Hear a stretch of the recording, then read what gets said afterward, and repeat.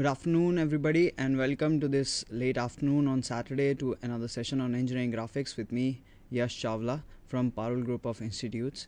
Uh, I'm a lecturer in Mechanical Engineering Department, and we are going to continue with our session, uh, which was going on last week, and we are going to see more projections of solid solve one of the problems which are left over from last time. And also uh, continue with section of solids uh, begin with section of solid and uh, then move on and complete this unit today in the two hours that we have.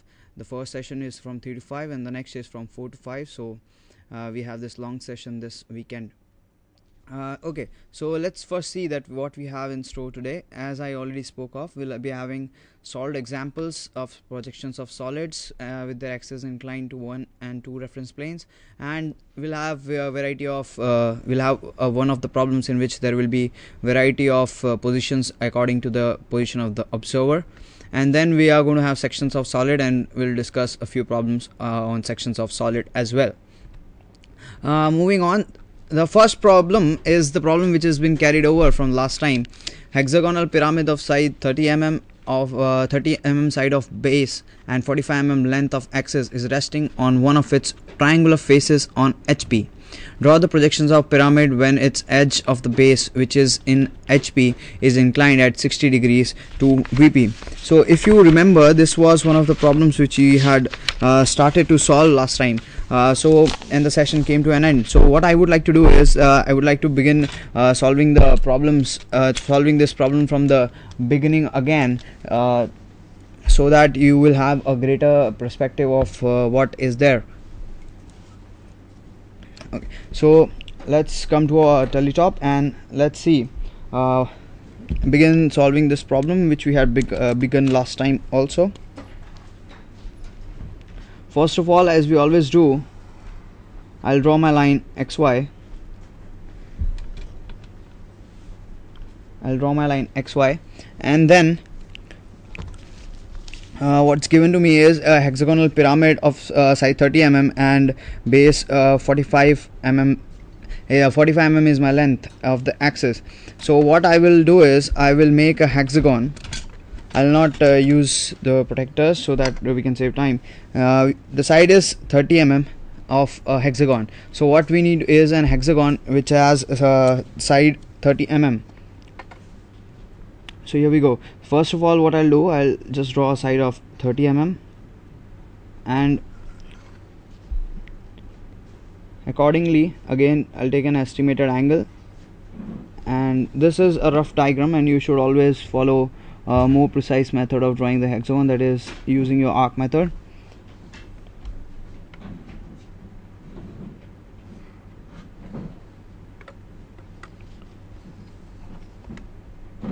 I'm just drawing it freehand so that I can save time because the concept uh, is more important here for you to understand.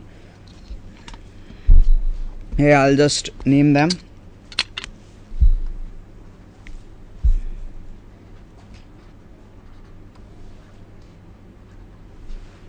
A B C D and uh, A B C D E F. Uh, and now what I'll do is I will extend my projectors upwards. These are the points which are being projected on the vertical plane so I'll just extend them upwards in this fashion. And I will have three points which I'll show them in blue. Okay just remember that this side is 30 mm all dimensions are in mm so kindly remember it. So these are the points and now what I'll do is I'll mark these points. This is as you can see A and B are projected here so this is A dash and B dash. C and F are being projected on this point so it is C dash and F dash. E and D are being projected on this point so it is E dash and D dash. And uh, one thing that we did not do was to make contact these lines because the center these lines would be visible because it is a pyramid. These are visible lines when we see from the top. And this is my center which is O. This is my center which is O which is actually the top uh, tip of the pyramid. So now what I'll do is so central axis the height of the length of the axis is 45 mm so I'll just extend the axis line upwards and then mark 4.5 mm on the axis which comes somewhere here. This is marked as O dash. This is the top view of the pyramid and this is my front view of the pyramid that I am drawing the considering that this all thing is in the first quadrant that's why my top view uh, comes below line xy and my front view is coming above the line xy. And as it is lying its base is lying on hp that is the reason why uh, these points have come on line xy instead of uh, going other way around or going above uh, the line xy.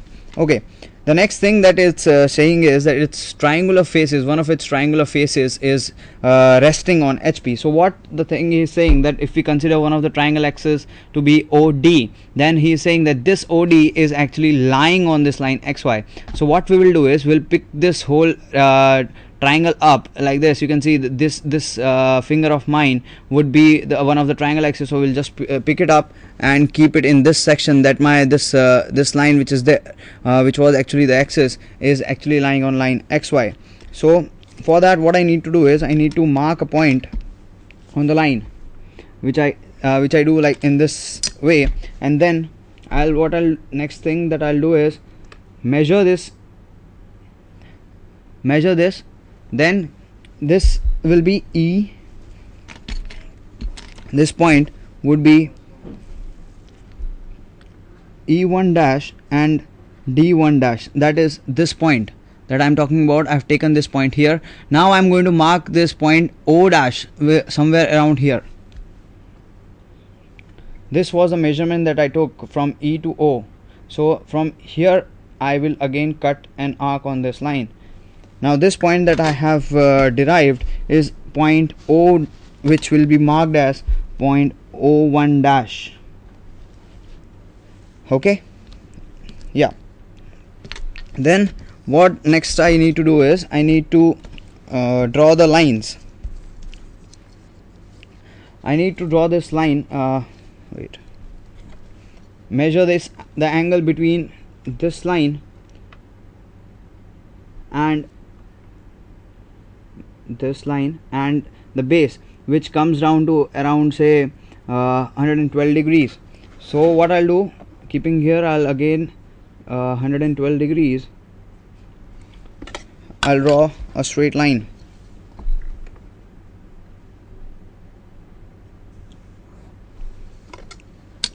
Again just to take the measurement A to E.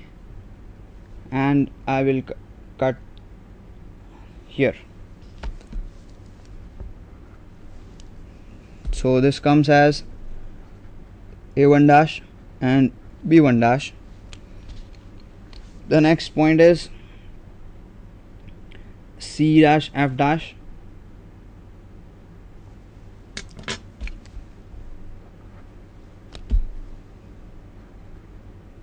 C1 dash and f1 dash. So now I will complete my pyramid using my black sketch pen.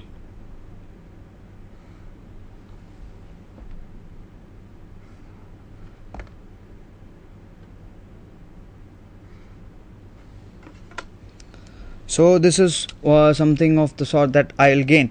Now the next uh, what thing uh, we have to do is that we have to uh, carry the projections downwards and carry the projections horizontal and vertically downwards and horizontally rightwards to have uh, the co coinciding figure for this uh, when it is lying on its base so first I will draw horizontal lines.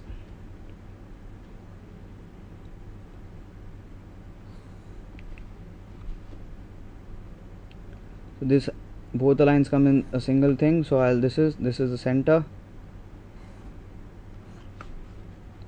Again I'm just drawing the lines to make this you just have to understand don't look at the perfection of the figure in this sense because I have my uh, limitations in drawing this.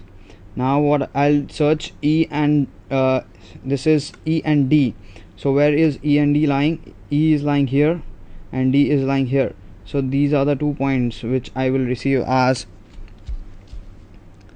these are the two points and this will be E1 and this will be D1 okay next thing C dash and F dash. Where are my C and F. C and F are on this line and this line. So I will mark the points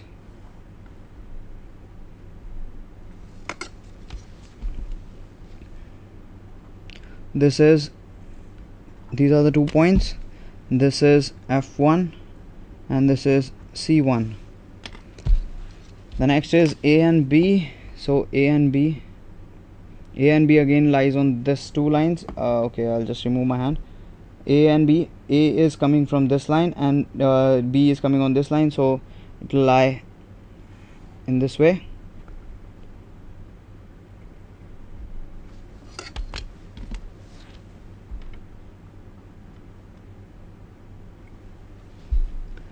so this is d1 and this is e1 so I'll complete the base hexagon which will be looking in this form.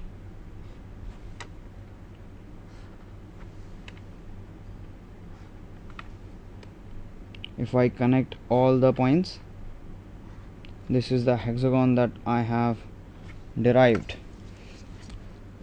Okay the next I'll just draw the line. This is towards the center. This is O so this is the center. And now I will connect all the lines. See now 1 2 3 and 4 these lines are visible lines and these two lines are the lines which are behind. So these will be the four visible lines which will be there. 1 2 3 and 4 whereas I'll have two lines which are drawing in different color so that you can see it and I'll draw it dotted.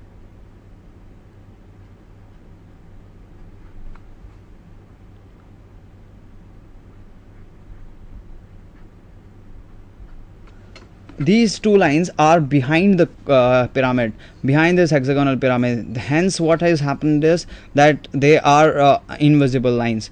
Now what uh, the next thing that is given in the question is that if the base uh, edge one of the base that is we are going to take uh, ed and if this base is at an angle of 60 degrees with respect to the VP then what will be its inclination? As you can see in the last line of the question draw the projection of the pyramid when the edge of the base which is in HP is inclined at uh, 60 degrees to VP so we need to uh, have this edge uh, that is ED uh, yeah ED which is in HP has to make an angle of 60 degrees with respect to VP the first thing that we will do is uh, for making an angle with VP we will take a point and then we'll measure an angle we'll measure the angle uh, oh sorry it's, it's going to be downwards.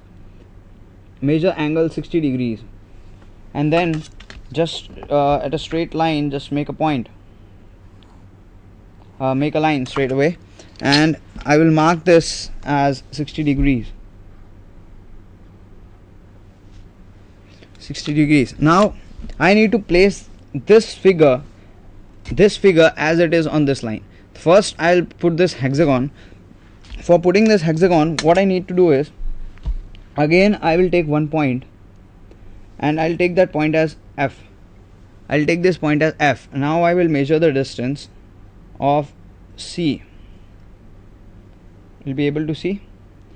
FC is the distance now I'll put this point here and cut an arc on this line. So I have two points.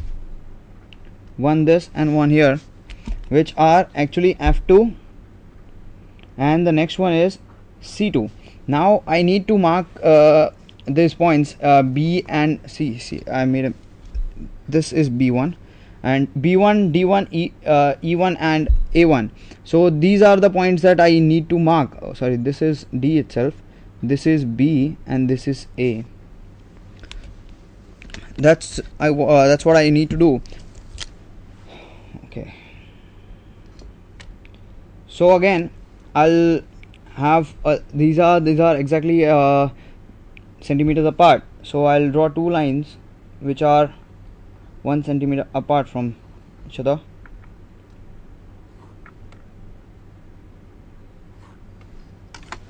and then putting my this here I'll these two are points are same. You'll be able to see these this point is same. And if I measure this point it's also same. So I will using here I'll cut one arc on this line and one arc on this line. So I have two points. One is this one is this I'll just measure the distance. This is also same and this is also same. So again putting at C2 I'll cut an arc here and I'll cut an arc here. So I have all the six points of my hexagon. Now I'll name them. This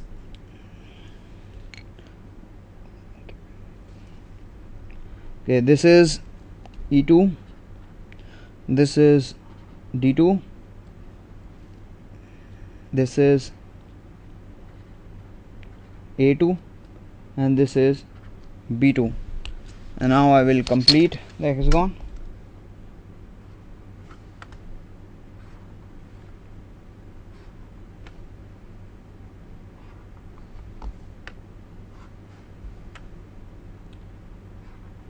Now uh, what I need to mark is the point O. So for point O I will do this. I will take the distance of E. Oh, I have this. Sorry. This is O1 so I now I need this point O1 uh, here. So from E1 I will measure the distance of O1 right? And E I put it on E2 and make an arc the next thing I'll put on D1 and measure the distance of O which is same. So again I will have this. So this point that I have derived is uh, my necessary point which is O and now I will connect them. Here again similar there will be four uh, lines which will be visible and the rest of them would be uh, the rest of the two will be dotted lines which are actually behind uh, the pyramid.